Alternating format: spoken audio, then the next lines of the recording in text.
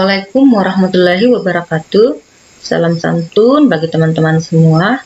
Kembali bersama Mbak Widya di video kali ini kita akan membahas soal yang berkaitan dengan grafik dan grafik jarak dan perpindahan. Nah, sebelum teman-teman menonton video ini sampai selesai, jangan lupa tekan dulu tombol subscribe-nya ya dan aktifkan loncengnya. Nah, di sini kita melihat soalnya yaitu ingin mendapatkan tugas dari ibunya untuk mengunjungi para tetangga kompleknya untuk memberikan bingkisan. Ia memulai perjalanan dari tengah komplek ke rumah A, ke rumah B, C, dan ke rumah D. Nah, di sini ilustrasinya jika tata letak rumah sangat rapi seperti pada gambar di atas, menyebabkan waktu tempuh titin dari tengah komplek ke rumah A adalah 5 menit dan waktu yang dibutuhkan Titin dari rumah ke rumah terdekat adalah 7 menit. Gambarkanlah jarak tempuh dan perpindahan yang dialami Titin pada sebuah grafik dengan sumbu X adalah waktu tempuh dan sumbu Y adalah posisi Titin. Nah teman-teman, pada soal ini kita diminta untuk menggambarkan grafik perpindahan terhadap waktu dan jarak terhadap waktu. Di sini jika kita lihat ini ilustrasinya, nah ini adalah titik tengah komplek. Titik tengah komplek ini kita namain sebagai titik O. Nah, seperti ini. Tadi pada soal dikatakan bahwa titik berpindah, titin berpindah dari tengah komplek ke rumah A. Ini berarti jarak yang ditempuh titin dari tengah komplek. Nah, teman-teman, pada soal ini kita diminta untuk menggambarkan grafik perpindahan terhadap waktu dan jarak terhadap waktu. Di sini jika kita lihat ini ilustrasinya, nah ini adalah tengah komplek, kita namain sebagai titik O. Nah seperti ini. Tadi pada soal dikatakan bahwa titin berpindah dari tengah komplek ke rumah A. Ini berarti jarak yang ditempuh titin dari tengah komplek di sini ada atau dari titik O ke rumah A ialah 50 meter. Nah, di sini kita namakan sebagai SOA yaitu 50 meter. Kemudian pada soal dikatakan bahwa waktu yang ditempuh Titin dari tengah komplek ke rumah A adalah 5 menit. Nah, kita lihat yang di bawah ini, waktu yang ditempuh Titin dari komplek ke rumah A adalah 5 menit. Ini berarti bisa kita namakan sebagai TOA, yaitu 5 menit. Kemudian dari rumah A, Titin berpindah nih teman-teman, dari rumah A ke rumah B. Nah, di sini kita tidak tahu nih teman-teman, berapa ya jarak dari rumah A ke rumah B. Nah, jika kita perhatikan di sini jarak dari rumah A ke rumah B sama dengan panjang gusur dari seperempat lingkaran. Ini berarti jika kita namakan jaraknya sebagai SAB, maka panjang SAB di sini sama dengan panjang dari seperempat busur. Berarti kita bisa tuliskan persamaannya seperempat dikali keliling lingkaran. Berarti kita bisa tuliskan persamaannya seperempat kali keliling lingkaran. Teman-teman tentunya ingat dong keliling lingkaran yaitu 2PR. Jadi SAB sama dengan seperempat dikali 2. Sekarang coba kita masukkan angkanya. Seperempat dikali 2 dikali Pi ini nilainya 3,14 atau 22 per 7. Di sini kita tuliskan sebagai 3,14 dikali jari-jari lingkarannya. Nah, jika teman-teman perhatikan di sini, nah jika teman-teman perhatikan di sini, lingkarannya adalah 50 meter. Berarti 2 kali 3,14 dikali 50 meter. Jadi, seperempat dikali 2 kali 3,14 dikali 50. Yaitu, nah di sini coba kita hitung ya, seperempat dikali 2 dikali 50 yaitu 100. 100 dikali 3,14 yaitu 314. Nah, 314 ini dibagikan 4 yaitu 78,5 meter. Berarti bisa kita tuliskan SAB-nya ialah 78,5 meter. Nah, teman-teman, dari rumah B, Titin berpindah ke rumah C. Di sini jika kita perhatikan ilustrasinya, Jarak dari rumah B ke rumah C sama dengan jarak dari rumah A ke rumah B. Ini bisa kita tuliskan bahwa apa nih teman-teman? Yaitu SBC jarak dari B ke rumah C sama dengan jarak dari rumah A ke rumah B. Kemudian jika kita perhatikan lagi nih, jarak dari rumah C kemudian ke rumah D juga sama dengan jarak dari rumah B ke rumah C. Maka di sini dapat kita tuliskan bahwa SBC sama dengan SAB sama dengan SCD yang dinamakan uh, maksud saya yang di mana Nilainya adalah 78,5 meter. Nah, teman-teman, di sini telah kita dapati jarak dari satu tempat ke tempat lainnya. Sekarang kita coba lihat nih, bagaimana cara menggambarkan dari ilustrasi tersebut dalam grafik jarak terhadap waktu. Nah, di sini di sini jika kita tuliskan kembali, jadi SOA 50 meter Jarak dari tengah komplek ke rumah A ialah 50 meter. Di sini 50 meter, kemudian SAB, jarak dari rumah A ke rumah B ialah 78,5 meter.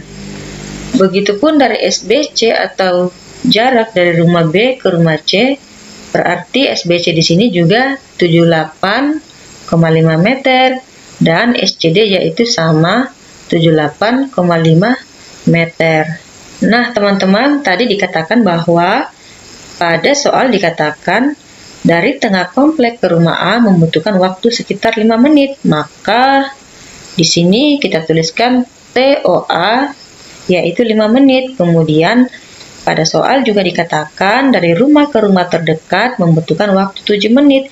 Ini berarti TAB dari rumah A ke rumah B membutuhkan waktu 7 menit. Begitupun dari rumah B ke rumah C membutuhkan waktu 7 menit dan dari rumah C ke rumah D di sini juga 7 menit. Nah, sekarang coba kita gambarkan ya ke dalam grafik. Teman-teman, pertama kali kita ingin menggambarkan grafik jarak terhadap waktu. Di sini jaraknya kita jadikan pada sumbu Y dan waktu tempuhnya terhadap atau di sumbu X. Di, di sini pertama kali titin bergerak dari tengah komplek ke rumah A. Maka jarak yang ditempuh Titin dari tengah komplek ke rumah A yaitu 50 meter. Ini berarti ketika T-nya sama dengan 0 menit, jarak yang ditempuh Titin awalnya 0 meter. Kemudian Titin bergerak dari tengah komplek ke rumah A dalam waktu 5 menit. Titin telah menempuh jarak sejauh 50 meter. Ini berarti jika T-nya 5 menit, Jarak tempuhnya adalah 50 meter. Ini ya teman-teman, kita titikin atau tuliskan garis-garis seperti ini. Kalau kita titikin, berarti ini adalah titik OA. Dari tengah komplek ke rumah A. Kemudian dari rumah A ke rumah B tadi jaraknya 78,5 meter. Nah, Tadi dari tengah komplek kan ke rumah A jarak yang ditempuh ialah 50 meter. Berarti kalau Titin bergerak lagi ke rumah B, maka jarak yang ditempuh Titin ialah 50 meter tambah 78,5 meter. Coba kita hitung ya. 50 me 50 tambah 78,5 meter. Nilainya adalah berapa nih teman-teman? Nah, nilainya adalah 128,5 meter. Nah, berarti dari tengah komplek hingga ke rumah B, Titin telah menempuh jarak sejauh 128,5 meter. Nah, kita misalkan di sini. Nah, kira-kira berapa ya waktu yang telah ditempuh Titin? Tadi dari tengah komplek ke rumah A membutuhkan waktu 5 menit. Nah, dari rumah A ke rumah B, Titin membutuhkan waktu 7 menit. Ini berarti dari tengah komplek hingga ke rumah B, Waktu yang telah ditempuh Titin ialah 5 menit ditambahkan 7 menit, berarti 12 menit. Kita misalkan di sini adalah 12 menit. Ini berarti ketika T-nya 12 menit, Titin telah menempuh jarak sejauh 128,5 meter. Nah, kita tuliskan lagi garis-garis seperti ini. Nah, kalau kita titikin lagi, ini adalah titik OB yaitu dari titik O hingga ke rumah B. Nah, kemudian titin dari rumah B bergerak lagi nih teman-teman ke rumah C. Berarti jarak tempuhnya bertambah lagi dari 128,5 meter kita tambahkan dengan 78,5 meter. Nah, jika kita jumlahkan ini, kita dapati nilainya adalah 207,0 meter. Ini berarti berapa nih teman-teman? Oh iya, ini berarti dari tengah komplek ke rumah C, Titin telah menempuh jarak 207,0 meter. Ya, di sini ya 207 teman-teman. Nah, waktu tempuhnya berapa ya?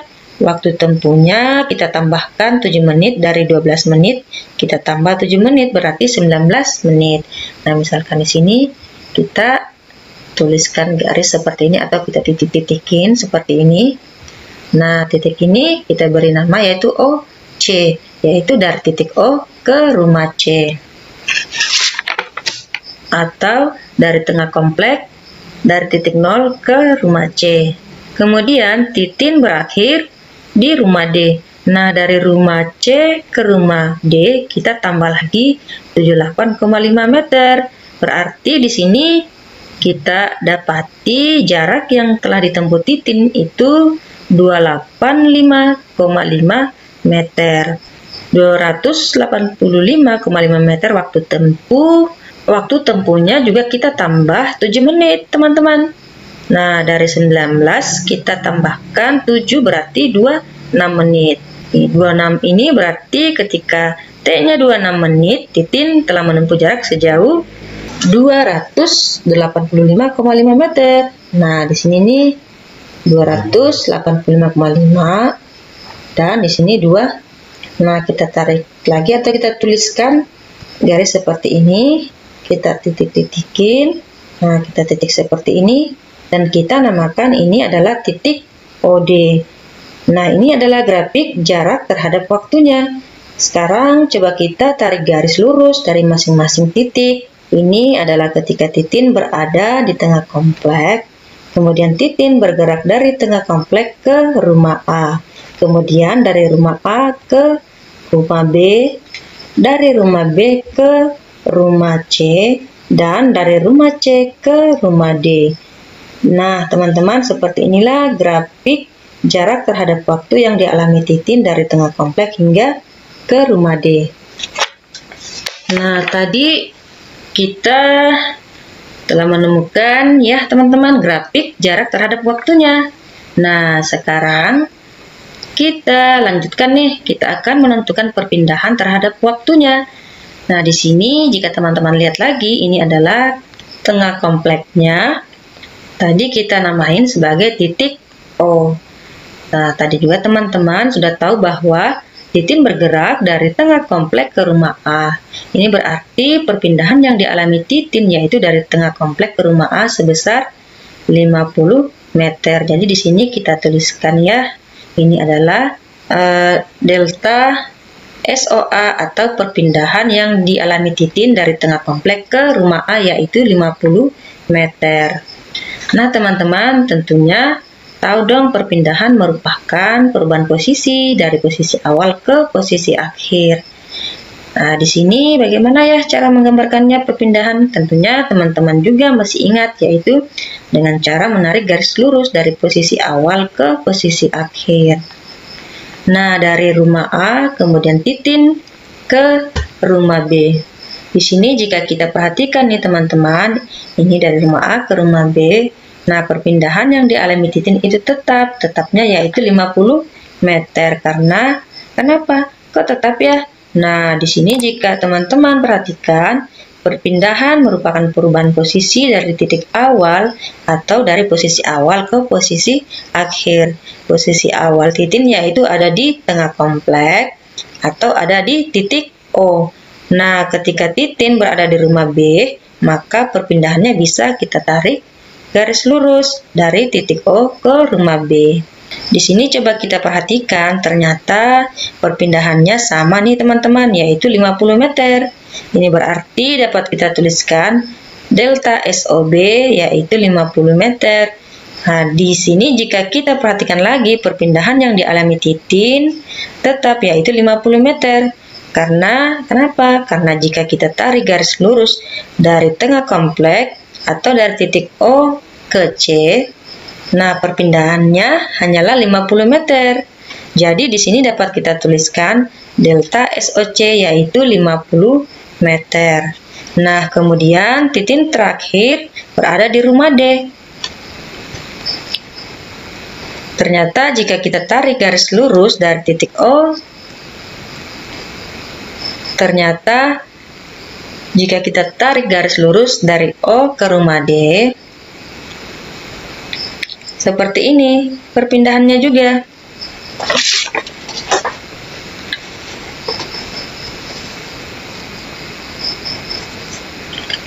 Nah, juga tetap yaitu 50 meter. Ini berarti jika kita tuliskan delta SOD yaitu 50 meter. Nilainya 50 meter.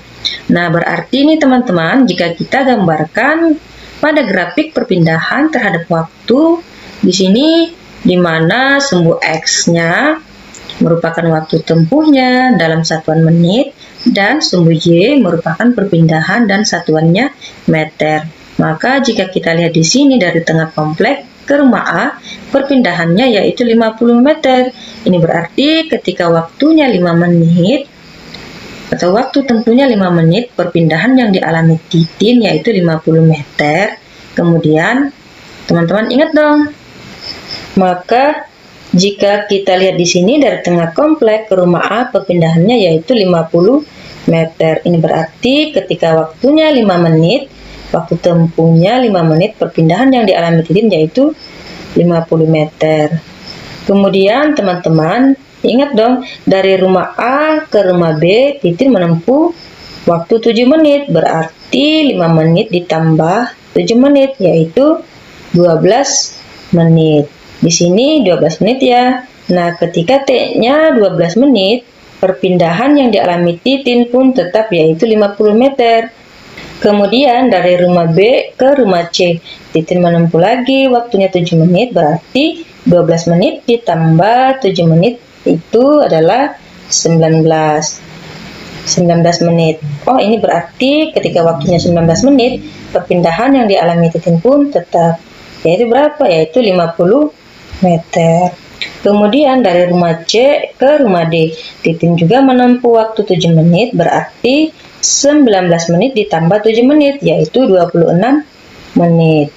Maka ketika T-nya 26 menit, perpindahan yang dialami Titin pun tetap, yaitu 50 meter. Nah, di sini coba kita tarik garis lurus ya.